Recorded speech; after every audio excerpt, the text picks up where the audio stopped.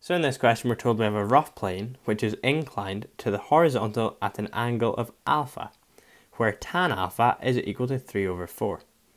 So we're told that we have a particle of mass m and it is placed on this plane and it is projected up the plane. When the question says projected up a line of greatest slope of the plane, this just means that it is going on the slope as opposed to going above the slope or below the slope. It is moving on the slope.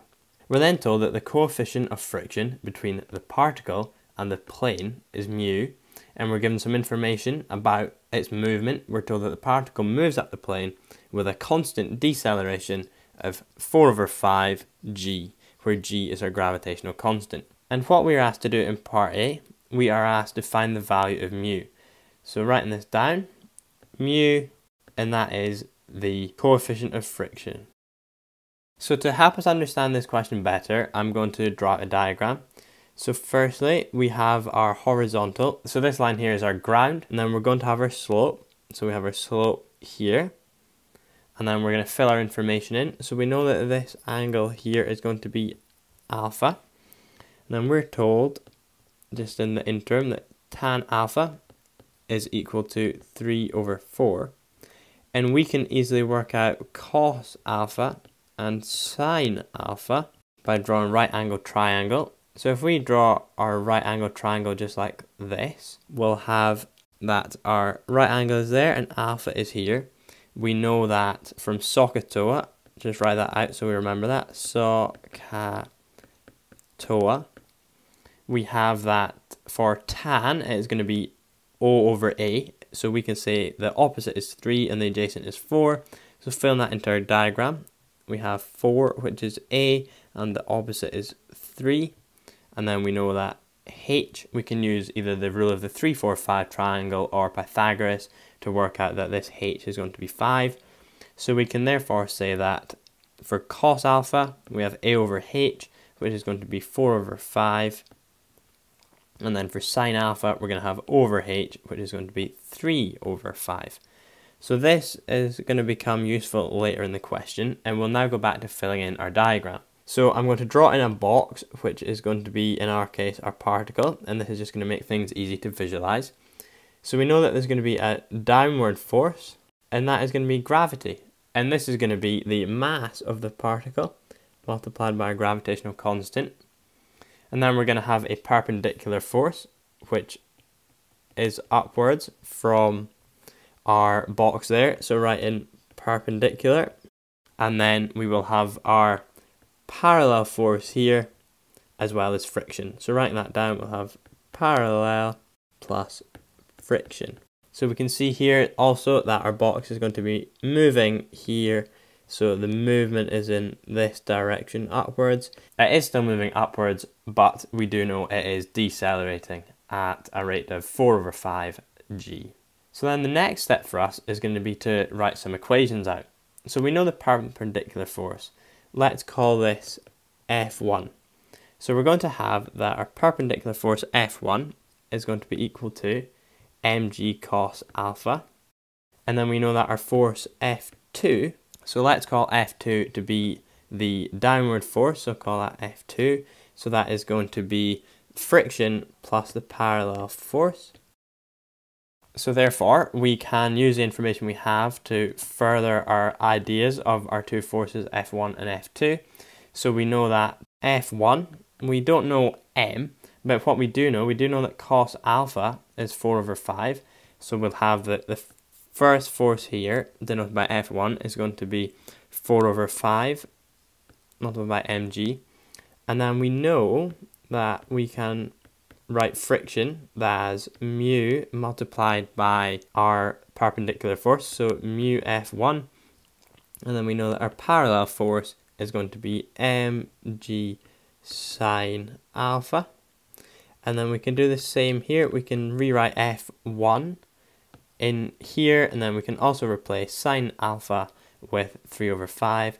So we'll then have mu lots of 4 over 5mg and then to that we're going to add sine alpha which is 3 over 5 mg. So the next step for us is going to be to equate these. So we know that 4 over 5 mg is going to be equal to mu multiplied by 4 over 5 mg and then we add 3 over 5 mg. So then we can see here we have mg, mg, mg. So they all cancel out. So we'll write that in here. mg cancels out.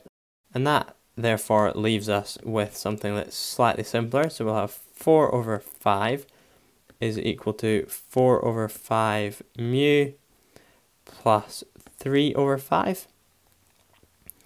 And then therefore we can then rearrange this for mu. So we'll have that 4 over 5 mu is going to be equal to 4 over 5 minus 3 over 5, which is going to be then equal to 1 over 5. And then therefore mu is going to be equal to 1 over 5 multiplied by 5 over 4. Then this comes out, we see our 5's cancelled, which means that mu is going to be equal to 1 over 4. So therefore, we've worked out mu, the coefficient of friction. This question was worth 6 marks, and we receive our first mark for knowing that our perpendicular force was equal to mg cos alpha. And then we get our second mark for being able to work out the parallel force, we then get our third mark for equating these two forces. We then get our fourth mark for knowing to use that the friction was equal to mu multiplied by the perpendicular force. So we'll just add that one back in there. And then we receive our fifth mark for producing an equation in terms of mu and knowing to solve for mu. And then we receive our sixth and final mark for concluding with the correct answer that mu is equal to 1 over 4. So in part B of this question, we're told that the particle comes to rest at the point A on the plane. And we're asked to determine whether the particle will remain at A, and we're to carefully justify our answer. So we're just going to redraw our diagram. So we'll have our horizontal here, and then we have our slope as you can see here. We know that angle is still alpha. And we now have our box is going to be here. I'm not going to annotate it in as much detail as before, but this time we know that when the box is at rest, friction will push upwards and our parallel force will push in the other direction. So that's our parallel force.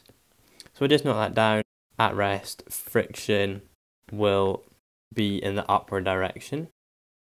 So then basically what we need to do is we need to compare the friction and the parallel force to see which one is going to be greater. And then from this, we can see will it remain at rest or will it move in some direction. So we know that the friction is going to be equal to mu multiplied by our perpendicular force, which is mg cos alpha.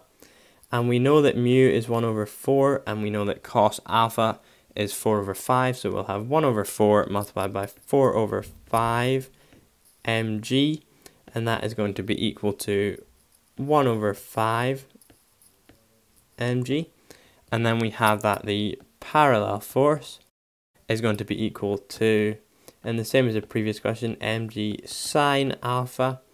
And we know that sine alpha is equal to 3 over 5 so we have 3 over 5 mg and therefore we can see that we now have two terms which we can compare so we have that 3 over 5 mg is going to be greater than 1 over 5 mg. So therefore, we can see that the parallel force is greater than the friction. So writing this down, we have that parallel force is greater than the frictional force.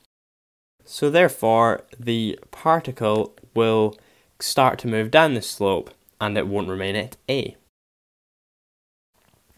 So in this part of the question, there was two marks available, and we received our first mark for comparing our frictional force with our parallel force, and we then received our second mark for using this comparison and coming to an appropriate conclusion, and that was that the particle will no longer remain at the point A.